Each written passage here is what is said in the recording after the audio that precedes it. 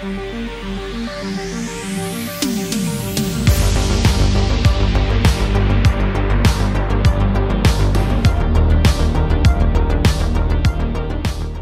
hi everyone. I'm uh, very excited to be here. Um, I am very um, happy that there is an open models track. Um, so I'm going to talk about the um, open models of Mistral AI and uh, go a little bit deeper into why we do open source and how we do open source.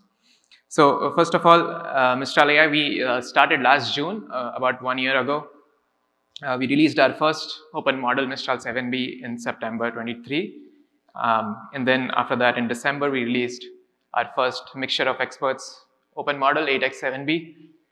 Uh, and along with that, we released our platform with model APIs and also commercial models, Mistral Medium and Mistral Embed.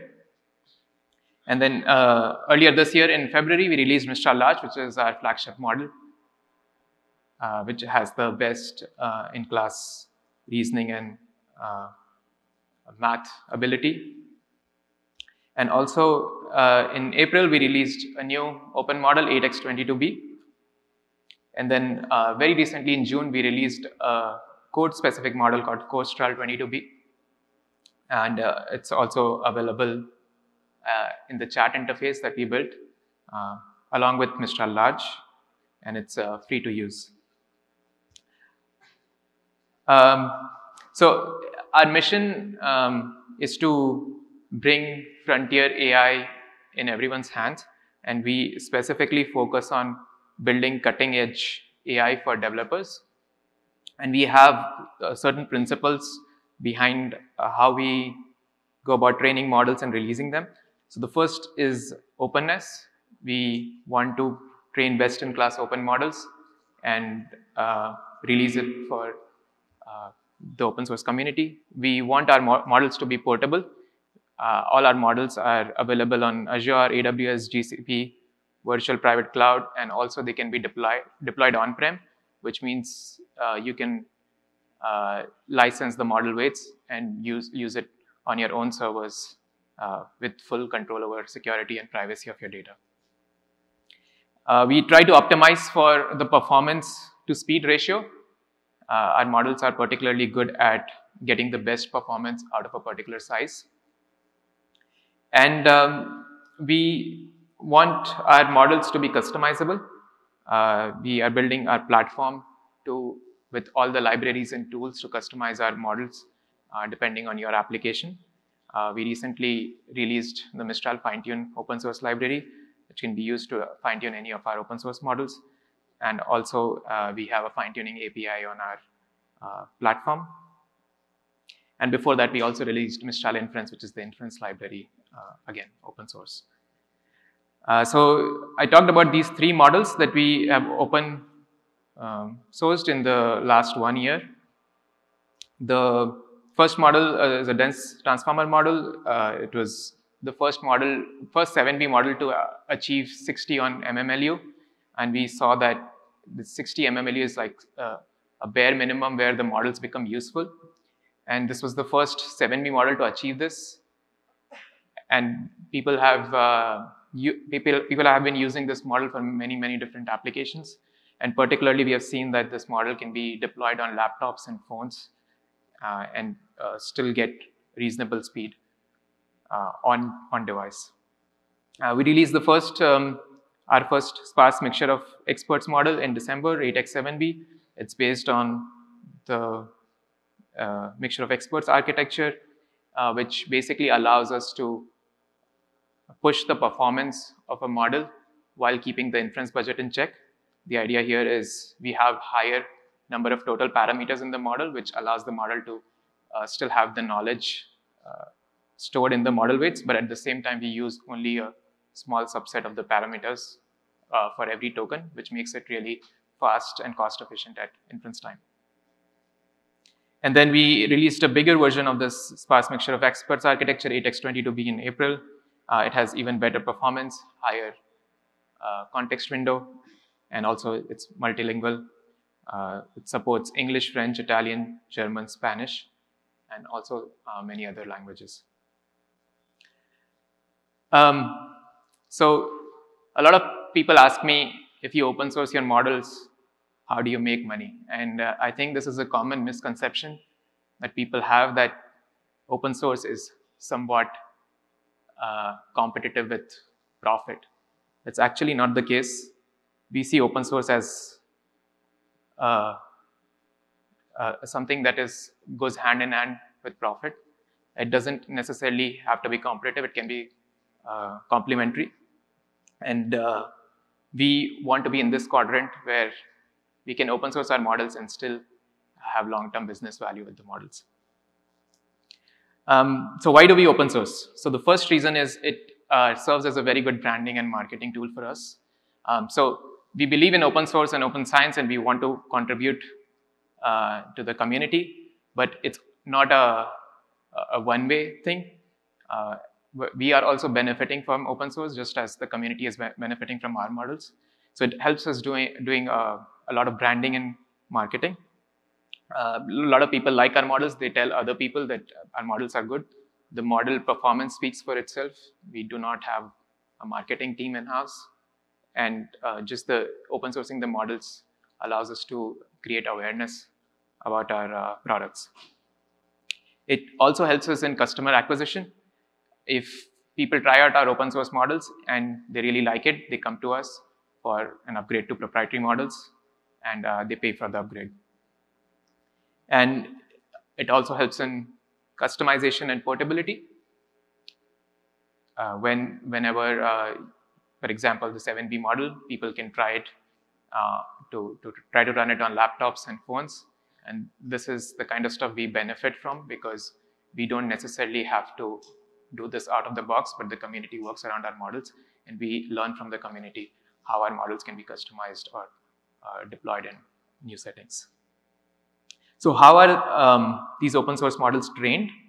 So I, will give you a very high uh, level overview of the different stages of LLM training.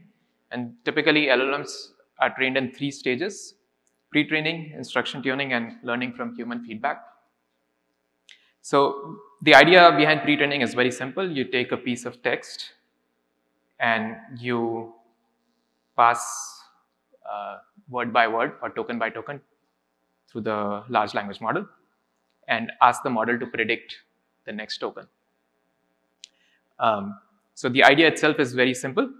Each, uh, the task is the next token prediction. Each token is roughly 0.75 word. The vocabulary size is roughly tens of thousands of tokens or sometimes hundreds of thousands.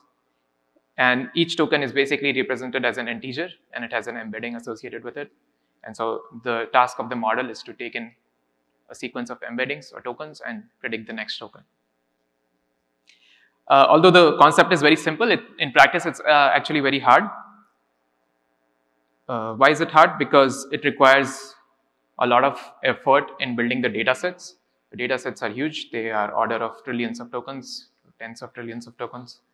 Uh, that requires pre-processing, cleaning, deduplication, curation. And there's a, again a, a, common belief that more data leads to better performance, but that's not, not necessarily the case. Uh, if you have noise in your data, that can actually hurt the model performance. It also requires a lot of investment.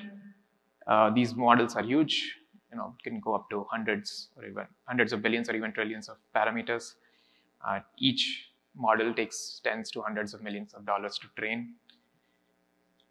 And the hardest part is you don't get multiple chances to train the model. Uh, the, because it's so expensive, if something goes wrong in your training, uh, it's uh, very difficult to get the investment to do another training run.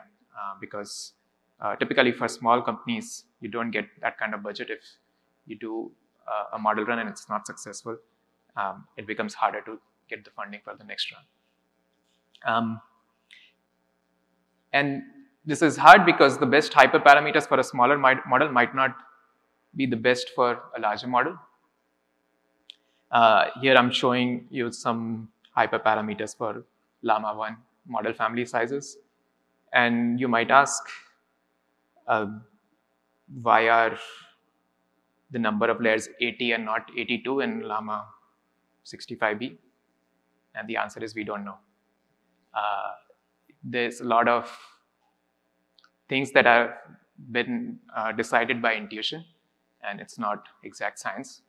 Uh, so you need a lot of experience and intuition working with these models to come up with things that are very likely to work, but uh, we don't, uh, we are still not very mature with the science of what is the best way to train the model or what's the best architecture, what's the best data set mixture.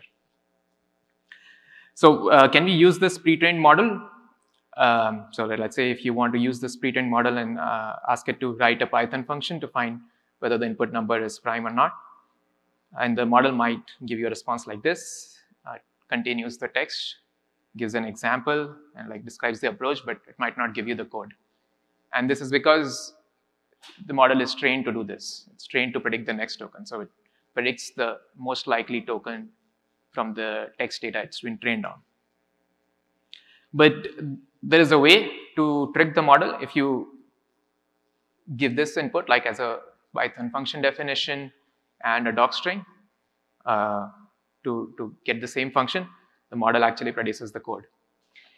And so this shows you that model actually knows the answer, but it is not aligned with human preferences. It's not trained to interact with humans in the way humans want to. And this is why we need the next two stages. Um, so in the instruction tuning stage, instead of just uh, string of text, we have prompt response pairs. So here we are giving the prompt, but in the way humans want to interact with the model. So for example, this prompt to uh, write a Python function, and the response is directly the code because that's what humans want as the response. And the technique is very simple. Again, we are doing next token prediction, but the only difference is we are going to mask the prompt itself. We are going to do prediction only for the response. Um, so the data set is paired prompt response pairs. We typically use 100 to hundreds of thousands of in instructions. Uh, the task is next word prediction, but just we mask the, the input instruction. Uh, it requires way less compute, order of 100 GPUs for a few hours or days is typically sufficient to do instruction fine tuning. And then the last steps is learning from human feedback. And here the idea is um, that human preferences are cheaper or easier to obtain than full human annotation. If I give you a prompt like this and two responses, it's much easier for a human to decide which response is better than to write the whole response uh, from scratch. And so this allows us to scale uh, data faster. And there are two main techniques, uh, learning from re reinforcement learning from human feedback and direct preference optimization uh, where we use this kind of preference data to fine tune the model uh, further. So just to summarize, uh, these are the three stages. Um, they have different orders of data set and compute requirement, and the task is uh, slightly different. And all the open source models we have have been used, uh, I've been trained using these techniques.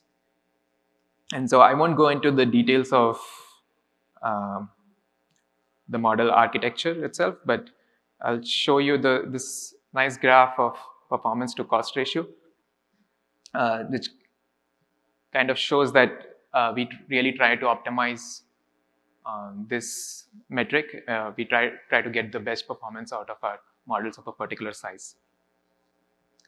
So here on the x-axis, we have the active parameters, which is directly proportional to the cost of running through the model. And on the y-axis, we have a popular benchmark, MMLU. So we try to be in the top left corner to get more performance with a lower cost. Um, we recently released uh, the CodeStral model, CodeStral 22B. It's a dense transformer model trained specifically for code. Um, and again, we are trying to optimize performance and speed. It's fluent in 80 plus programming languages, and it has both uh, instruct and fill in the middle mode, which means that you can use it for code completion uh, in uh, your code editor, uh, just like GitHub Copilot, but also you can use it to ask questions about the bugs or errors you're facing, just like you would put it in ChatGPT. Um, so it outperforms CodeLlama 70B, Deep DeepSeek Coder 33B, Llama 3 70B while being a significantly smaller model. So again, we are getting more performance out of a model of a particular size. And it also has a longer context window uh, than the other open source code models. It is multilingual. Uh, we trained it with more than 80 programming languages. And uh, across all these different languages, it tends to perform better than the other models. So it's uh, free to use on our chat interface, chat.mistral.ai. Uh, we also have the API access available on La Plateforme, which is our uh, uh platform API endpoint. And here uh, it's also free to use till I believe end of July. We also have integration with VS Code and JetBrains. So you can download a plugin in VS Code or JetBrains and use it as a coding assistant for code completion. So um, in the end, I, would just discuss some practical tips because these are some commonly asked questions about how to use open source models and when to use open source versus when, uh, when to use commercial models. So uh, if you have a particular application in mind and you want to try out commercial models, you could do things like prompt engineering, few shot prompting, chain of thought, and you could also do retrieval augmented generation uh, because commercial models typically don't allow you to do fine tuning. Uh, but for open models, you can do task specific fine tuning as well. You need a little bit of data and compute for this. Uh, but in the end, the choice is between how do you how do you balance performance versus cost. Commercial models have a higher general purpose performance, so they are much easier to get started with if you are trying to build a new application. Uh, but if you, once you get into production or once you have high volume, open models can beat commercial models on specific tasks with fine tuning. And um, uh, typically what we have seen is people prototype with the highest end models and then once they figure out that this is the, the, the task they want to solve, they take uh, open source model like Mistral 7b or 8x7b and then fine tuning for their task. And this optimizes the performance to cost ratio. Uh, we have offices in Paris, London, and in Bay Area. Uh, we are always looking for talented uh, researchers, engineers, uh, business marketing people. Uh, so please, please do apply. And thank you. I don't know if you're taking questions, but no. Okay. Thank you so much.